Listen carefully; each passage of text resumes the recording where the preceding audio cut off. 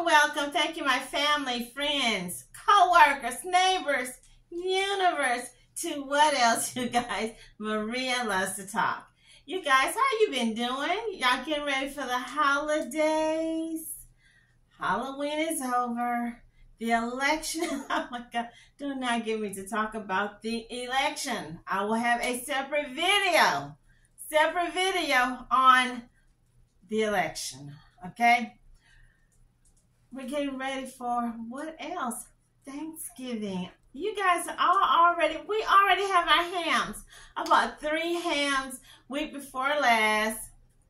Um, it's like a honey baked ham, but I got them on sale at Walmart. I got it before anybody else. I heard and grabbed them, threw them in my basket. I got one for us, my one of my sisters, one of my brother-in-law. Yes, we're set. Already have all my canned goods and veggies and whatnot. I just can't believe it, you guys. I can't. Thanksgiving is going to be week after next. Then Christmas, uh, New Year's Eve. You know, I, I, I just can't believe it. I can't. So enough with me just can't believe in it.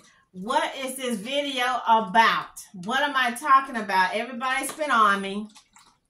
You guys, that's why I'm saying I did not know. It's been eight months since I did my video on uh, Joni Lamb and her husband and her children and Daystar. I don't know if I talked about TBN. So what I'm doing, I am doing, um, I wouldn't call it a part two. I'm doing some corrections. I'm going back, yes, because y'all told me that I made a boo-boo.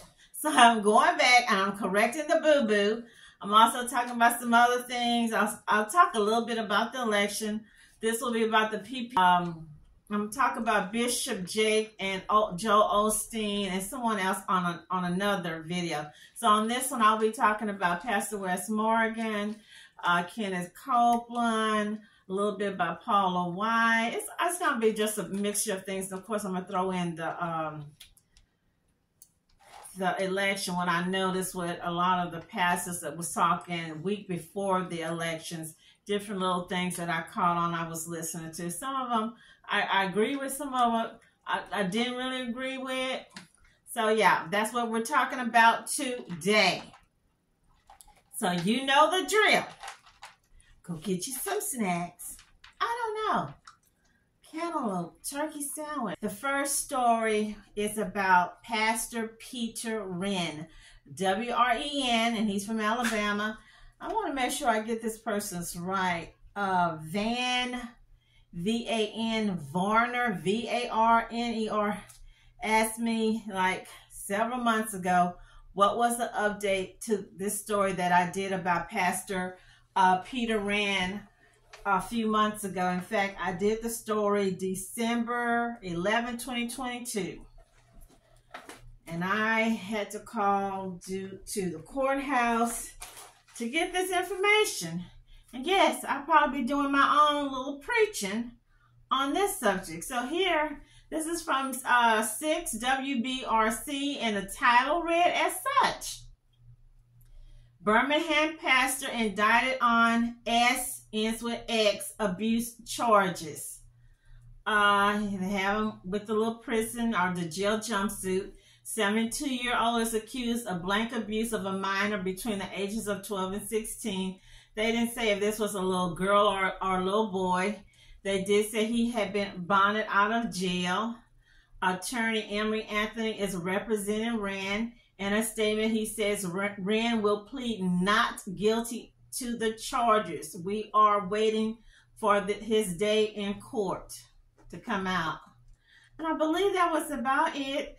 The church is called East Birmingham Church of God in Christ, which we all know that's a holiness church. So when um, Van Varner asked me, is there any updates? Um, I was like, I don't know. And I went and I looked and I want to share with you guys. It's not just me. There's other YouTubers doing stories. So when we do stories, you know, you're doing so many stories, you don't have time to come back, especially like with this. They didn't say what his bond was. They didn't say when the next court date. you're doing so many stories, you don't have time to go back and look and see. And then someone they, I don't know if it's Van, if it's a, a chick or a dude. I went back to look. I don't see any updates. So let's just pretend that I'm hired by Tyler Perry or Steven Spielberg, and they say, hey, Marie, we want you to go out and find us a pastor or bishop because we want him to be in our next movie. And I go out and I look and I say, oh, okay, I like this pastor, I like his name, I like the way he looked. And then I look, I'm like, wait a minute, he's been charged. He's he's been put in jail for ABCD. Guess what, you guys? I don't have time. We don't have time to go back and look all over Google, whatnot, to, to see has there been an update? Did he go to court? Was it dismissed? Did he go to prison? Blah, blah, blah, blah, blah, blah. So guess what? I called to the courthouse, uh, criminal court. Did I get the lady's name? It says here DA, DA, district attorney moved for want of prosecution. So any legal eagles, I don't remember all that. Uh, I worked in bankruptcy when I worked at the federal building. So, you know, I wasn't in, in the criminal courts. I don't remember all, any of that. Uh, dismissed November the 16th, 2023. So remember, I did this story in 2022. This happened in October 14, 2021. They just dismissed this man case last year around the holidays, November 16th. And I tried to find out from the lady.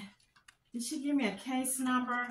I was trying to find out um what happened, why. I was trying to look up, you know, what does that mean? What would cause a case uh, to be basically dismissed? I couldn't find anything. Uh, I don't want to speculate, but I'll put it out like this. These people really quick to put a person's information out, labeling them a bad person, a criminal, uh, a boogeyman. But when these cases are dismissed are found to be bogus or, you know, whatever, they're not that quick to go back into the system or update the news people or update the uh, writers to put this information that, hey, this man, he has been found uh, innocent. His case has been thrown out. It's been dismissed. I don't know if the person, the child, recanted their statement or they didn't show up for court or the or the case you know dragged on. Um i'm be keep it real you know. I don't know if um sometimes with these type of cases not just these cases cases in general we see all the time sometimes if you give the courts or the judge more mo- money for their allegedly for their next uh, campaign, you can get cases and whatnot dismissed or thrown out. I'm just saying. But remember, all we have is our reputation. All we have is our integrity. You know, you can you can buy hair. You can get a hair transplant. You can buy a suit. You you can lose weight. Um, you can uh, get a new job. People who lose everything and go bankruptcy, a lot of them go back and they go bigger than what they lost. But once your reputation has been uh, tampered with, tainted, destroyed, that's hard to, to get to gain that back. And this man is 72 years old. So I'm I'm just because I don't want to, you know, just assume that you, know, that he's not really innocent or that the child, whoever lied or, or maybe the parent or whoever pressured the child uh, to recant their statement. I don't know. We just got to go on what they say here. And November the 16th, 2023, this case has been dismissed and no one went back and updated this. So that way, if Tyler Perry, Steven Spielberg wanted to ask Pastor Wren to be in their next Madea um, comedy. I don't know, could be a documentary. they're gonna looking like, okay, they don't have time to do like what I did to get on the phone and call to the courthouse 205-325-5491. What's the other? Can you give me some information on the on the good pastor on the red? They don't they gonna have time to do all that. So prayers go out to everybody involved, and I want to thank you. Um, one of my I don't I don't know if this person is a regular, you know, I don't know if you're a subscriber, but uh, thank you for bringing that to my attention because that goes for a whole bunch of stories. Not that not only me, but other YouTubers have done. And these people cases probably have been just like this man. Dismissed, thrown out, not enough evidence, person recanted or whatnot. So yeah, I wanted to say that. Um, moving on to the next story. Joni Lamb of Daystar and her husband, Dr. Doug West, or Weiss, W-E-I-S-S. Now here, uh, let's go here. So someone, y'all corrected me. Thank haven't had time, you guys. I know y'all mad at me to go back and correct something I said. Uh, yes. Jonathan West is not, is not related to Dr. Doug West. My mistake, you guys. Guess what? It was sitting right there in my face. And when I went to edit it, I, I cut that off. So yes, I, am I'm, I'm a big woman. I, I I do have my big girl drawers on, and I don't have a problem when I'm wrong to say I was wrong. I apologize. I am sorry. Okay? Yes. It says here, Jonathan West parents, uh, her, the daughter that's married to him is Rebecca. Okay, and Rachel is the blonde married to, I can't think of her husband's name, but he's the, the bald guy that's a, a musician. So it says Jonathan's parents are Myles, M-Y-L-E-S, and Catherine Weiss. Dr. Doug Weiss married Joni Lamb in June of 2023. Okay, and we remember her husband uh, passed like a year or so uh, here it says, um, yeah, Jonathan and Rebecca are married. So both of these men are Jewish. Okay, the young guy's Jewish and the older man. Uh, so John, John Weiss, Jonathan, Rebecca's husband, the one with the black hair. They said, I was wondering what do these guys do? Do they? Ha- I'm keeping it real, you guys. Do they have jobs? Do they work? Are they working? For a Daystar because you know a lot of times with a lot of these big churches mega mega uh, churches uh, with them that this is not a church this is a, a, broadcasting. The when these daughters or the sons marry someone they all work at the church or whatnot. They give them positions and stuff. I'm like do these people have jobs? So john is co-chief executive officer of corporate and investment banking at Wells Fargo and serves on the company's operating committee. That's what he does. Um, Rachel's husband, uh, sister of Jonathan Lamb, and I'm gonna talk about him because I'm like, where is he at? He's like AWOL. What happened? And Rebecca Lamb. So husband Joshua Brown, he's got an accent, he's from Australia was music director for Rebecca St. James, tour manager for Peter Furler, and music director, tour manager for Cindy Cruse Ratcliff. He plays keyboard for Christian group Planet Shakers.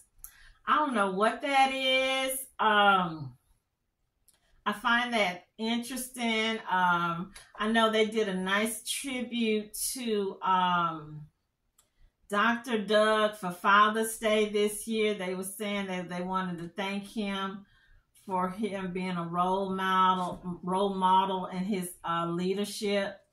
So let's get right quick to um, the son who's been missing in action. I, I, I just looked just now on the look. Uh, I saw his wife have a Facebook page. She hasn't been active or said anything since May. I didn't see his Facebook. I see they both have an Instagram page. Uh, he posted something in June. Was it June? It was September. So let's see. It was September 2023. It wasn't recent. And everybody's been asking him, Where are you? We miss you. We love you. So here it says, this is Jonathan the son. He looks just like his dad. He says, My wife and I have received a huge number of messages asking if we are leaving Daystar. The answer is clear and definite no. We are absolutely not leaving Daystar. I serve as the vice president and am in the office daily. As for returning to television, we don't have a timeline of when that will be. Since I was a young boy, I have always known my calling was at Daystar to serve God and my father's legacy. I will never walk away from it. I stand faithfully where God has me and keeps me. Suzy and I are grateful for your prayers, love, and concern. We love you all. Now, I did see he's in some, um, not some, but he's telling people to go to another Instagram page. It's called Build Build Different Ministry. So I don't know if he's working with these guys or these uh, these young men because all I see is pictures of other people. I don't really see him in it. So uh, let me just nip it in the bud here uh, before I go to the PPP loans. Uh, I know people were saying that they thought that he was going to take over the ministry or his mom, Joni, should have uh, why she doesn't have him in front. Uh, why is the husband, the new husband, Mr. Doug, Dr. Doug, is all over the place. Um, I just saw right before the elections, they had Kenneth Copeland and some other men at the round table. I think it was that Tuesday night or was it that Monday night of the elections? And then I think that same week, they were showing her husband's uh, Marcus Lamb uh, sermons. And I, have been noticing, I don't know if anybody can tell me, and I'm not being messy, I'm just keeping it real. You are married. You have a new husband who is a therapist, a doctor for people with S, that ends with X addictions and whatnot. Why are you constantly every month or every two months using Marcus Lamb's old sermons. To me, yeah, they old sermons uh, are when he preached at different places to raise money, to to have uh, uh, people on like a telephone type. You know, remember how they used to have the. Uh, remember when I was a little kid, uh, Jerry Lewis would have the telethon. That's what they have every two three months. She got a telethon where they got people uh, asking or as my, my mammy used to say, they just begging for money. They just begging for money. You married to a new man. Why are you using the old man to, to get money? And then are they showing the people when they raise this money? I'm just curious. How much did you raise? How much are you actually giving to the Israel Jewish community or, or to uh, the food, to the hunger, to the, the, the women or the, the babies? I'm just curious. Uh, I know I saw some people saying that uh, they didn't know why was she sitting to the back. She got her husband sitting to the front when they're interviewing guests, and she's sitting off to the back. And remember, and I'll show like a picture when it was her and her husband Marcus he always had her sitting closer to the guest. Like this is the guest and she's here and then he was on the side. Now she's got her husband sitting where I am and he she's sitting behind him to the side and the guest is right here. And I was like, and I noticed, I'm not being messy.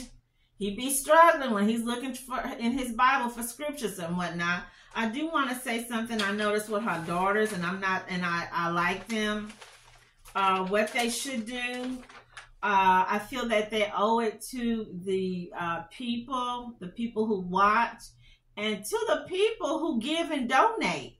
Not only I noticed with Daystar, but I noticed with TBN, they ask people uh, to donate their houses, property, land. I guess if these people don't have any relatives or any um, heirs or whatnot, I feel that they owe the public, she owes the public a responsibility. Where is your son? Okay, where is your son? Why is he not participating? He's been doing the show uh, with his wife, uh, Suzy, since like what, 2014, 2016 or something. There was a picture I saw of him and his dad, and every time I look at that picture, I could just see the love. Not just see the love, just see, feel the love that he had, the way he looked at his dad. They had just a good, strong relationship, father son, which a lot of young men should have that. We do have men that have it, but you don't see a lot of it. Um, I want to know. We we need to know what happened to the old boy. What happened to Jonathan? Why you took him and threw him in the back, and you got old Dr. Doug right there, front and center. Um. Also, I want to go back to the daughters, Rachel and Rebecca when uh, Mr. when Pastor uh, Pastor Jimmy Evans, uh, especially with him, and I noticed other guests come on when they have the little round table and all the women, and there's this one lady I cannot remember her name, but she's a young black lady, middle-aged black lady, but she's one of the singers that sing with Joni.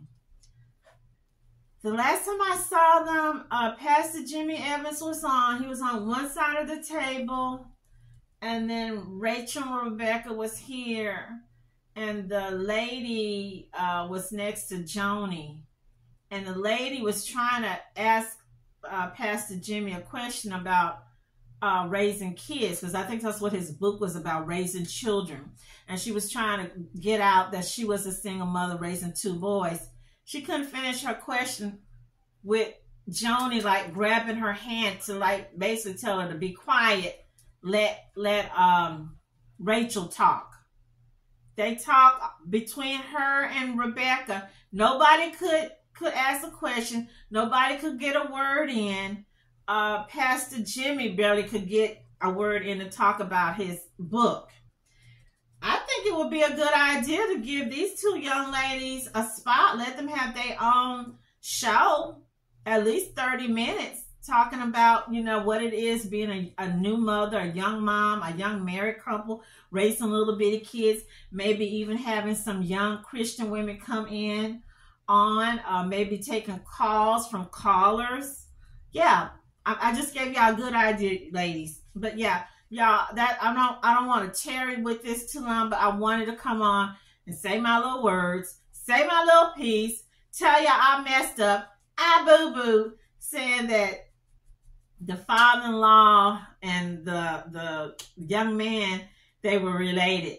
Now all this other stuff about him when he divorced his wife you know when he called up joni and told her he was available he was divorced he was single.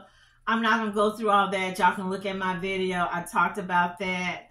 I'm not gonna go through about the the house. I'm not gonna talk about her wedding dress. I, I, my attitude about um, mature women, older women, if you can rock it, if you can wear it and look good in it, do it. I just have a problem with her wedding dress. I thought she looked nice and I thought she looked good. Uh, she's an attractive lady. Uh, giving her son the wheel or giving these kids the the wheel of the business, the leg of the business. She's still young. She's still got a good 25, 30 years ahead of us. Her uh, parents, people, have to be careful with just throwing the business at these kids these days, okay? Because I have seen a lot of people throw the business, give the business, hand over the business, hand over the rental homes, hand over the apartment complex to their kids, and the kids go crazy, buck wild, and they go through the money, they mismanage things, they have layoffs, and then the business dissolve. Everything mommy, daddy, or papa, grandma work for, these kids get and bam. So yeah, she has a reason maybe for not handing over the keys to the building to Jonathan.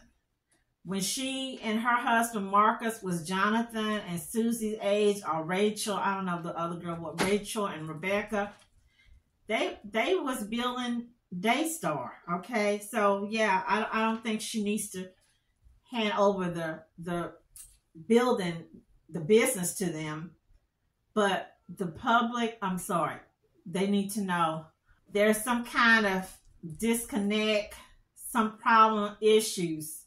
I mean, it's obvious. We're not dumb. We're not blind. You know, even Ray Charles, Ronnie Milsap can see that. Okay.